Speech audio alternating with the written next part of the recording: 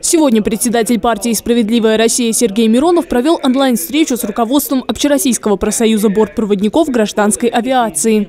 Я знаю, что в связи с так называемой регуляторной гильотиной отменили многие нормы, действующие еще Советского Союза, но, если я правильно понимаю, сейчас получилось, что норматива о регулярном медицинском свидетельствовании бортпроводников или состава вообще сейчас не действуют никакие нормы.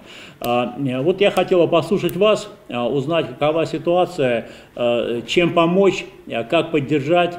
Основная проблема, утверждает президент профсоюза, в том, что нормативные документы, которые регламентируют обязанности бортпроводников, создаются без их участия.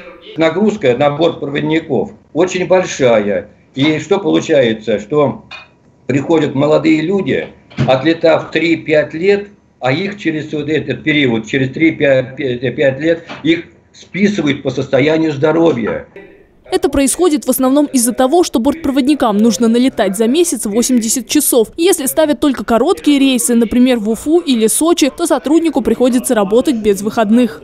Мы бы хотели вас попросить, чтобы, может быть, вы вышли с какой-то законодательной инициативой по поводу изменения 139 приказа, это положение об особенностях режима труда и отдыха летного состава гражданской авиации. Кроме того, обсудили увольнение профессионалов, медосвидетельствование летного состава, проблемы, возникающие в связи с регистрацией воздушных судов не на территории России. Сергей Миронов, как законодатель, готов помочь с улучшением условий труда бортпроводников.